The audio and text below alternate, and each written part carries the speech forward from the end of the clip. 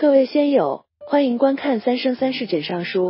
难道这就是自己一直在瑶池想要找到的那张图吗？阿离竟然把它偷偷带回来了，好不好啊，夫君？阿离，这张图送给夫君好吗？这确实是藏宝图，可是路上很危险，你不可以去。夫君替你去取宝藏，阿离不能一起去吗？不可以，你长大了才能去。那好吧。夜华不动声色的收好了图，用修为隐匿了上面的内容。此刻看来，也不过就是一张普通的白纸。夜华，团子，你们好了没有？浅浅就来了。晚上，夜华一家三口一起吃了晚餐。吃过晚餐后，夜华又带着白浅跟阿离去划船夜游了。浅浅，冷不冷？夫君，好多萤火虫啊！我看见萤火虫了，我们去抓萤火虫好不好？小心，危险！白浅把阿离拉住了。夜华一手抱着阿离，一手抱着白浅，一而起到了岸上的林子里。虽然已经是晚上了。可是这里的萤火虫却把夜空照得犹如白昼。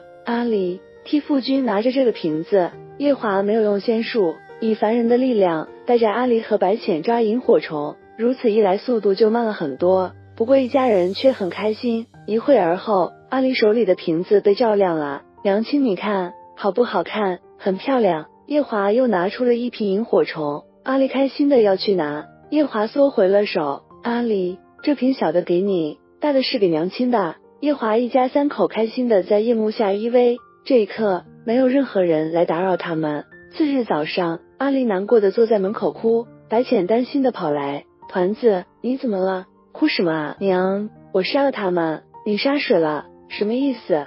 阿离难过的把已经熄灭了的萤火虫的瓶子递给了白沙。白浅心疼的看着阿离：“娘亲，我把他们关起来，是想带他们来家里做客。”可是他们都死掉了，是不是我杀了他们啊？傻团子，萤火虫就是这样的，寿命很短很短。可是这一晚，你们互相陪伴，你已经成为他们的朋友了。他们虽然不在了，可是将来再出现的时候，一定可以认出你来的。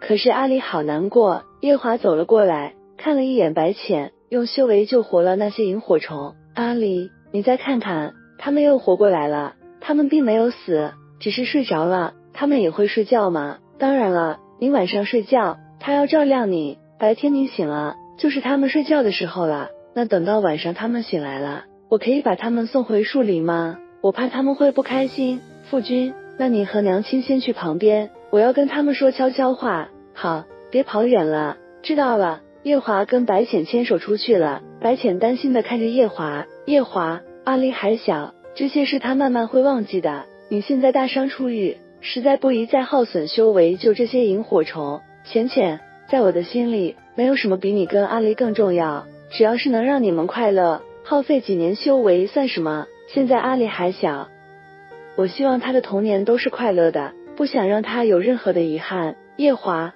谢谢你，傻瓜。我们之间还需要道谢吗？白浅安心的依偎在夜华的肩膀上，夜华轻轻抱着他。天宫。连宋已经完全恢复了，程玉开心不已。太好了，你终于好了，我们所有的苦难都结束了。只要再在这里生活一千年，所有的一切就都结束了。那等结束的时候，我要去人间开个餐馆，你做老板，我做老板娘。那条街到了晚上一定会很热闹，要有两层楼，一楼做餐厅，二楼做个戏台，请人唱曲说书。好，全都听你的。不过我们没有银子怎么办？这有何难？我们把这宫殿卖了不就得了？那恐怕没人敢接手吧？这可是三殿下的宫殿，而且这可是天君送你的，你舍得卖掉吗？是啊，是天君昔日赠予我的，可惜如今物是人非了，他早已不是当年的那个天君了。连宋的语气里透着难过和失落，程昱又何尝听不出来呢？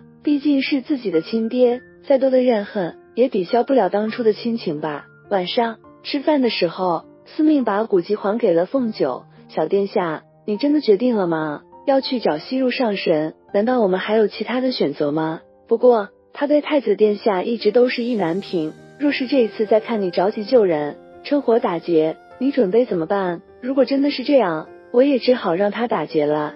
司命点了点头，陪着凤九去了瑶池。西入现在失去了一切，早已心灰意冷了。青丘白凤九求见西入上神。快滚吧！我家主人是不会见你的。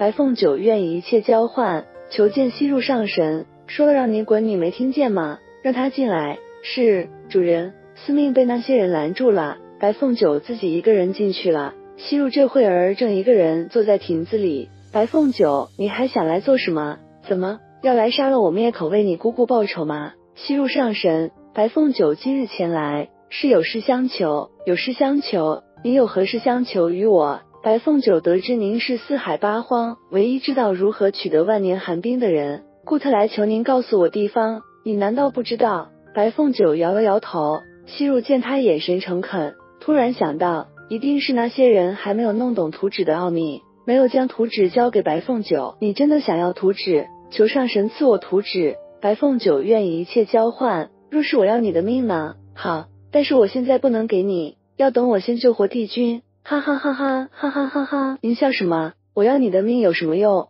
那您想要什么？若你真是想要这图纸，我倒可以给你指条明路。但是我要你三条尾巴作为交换。我听说九尾狐断尾之痛，无异于常人挖心之痛。我想看看你会不会痛。上神真的肯与我交换吗？当然，机会我是给你了，要不要全看你自己了。西入将匕首放在了桌子上，白凤九笑了笑。从桌上拿来了匕首，又将狐尾变换了出来，自己亲手砍掉了三条尾巴，尾巴还在滴血。白凤九冒着冷汗，把尾巴递给了西入。我已经做到了，求上神赐我图纸。西入一把将狐尾扔了，冷冷的看着白凤九，把你的狐狸尾巴丢远一点，别脏了我的手。白凤九，我西入一向说一不二，我告诉你，如今图纸已经不在我手中了，我早已交给了三殿下连宋。你若真是要救帝君，就去找他借图纸吧。西入说完话就走了，白凤九昏迷了过去，一览芳华。白浅突然觉得胸口沉闷无比。浅浅，你怎么了？夜华，小九好像出事了，我突然感应到，可是我找不到他的具体位置。你别担心，我马上去找。另一处，西入走后，那些天兵也就退开了。司命见他们都走了，就跑进去找白凤九了。不料却看见了他鲜血淋漓躺在地上的样子。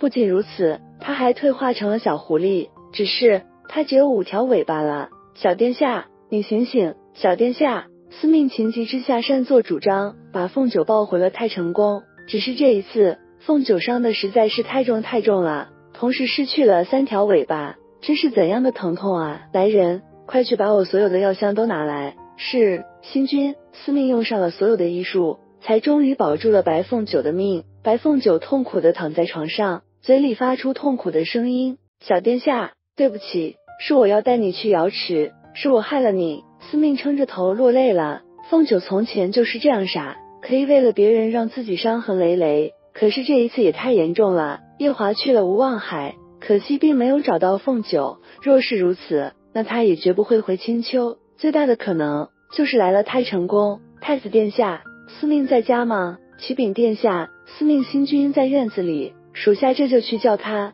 不必了，本君自己进去就行了。夜华进去的时候，司命正好抱着药箱出来，差点撞到了夜华。司命新君拜见太子殿下，请起。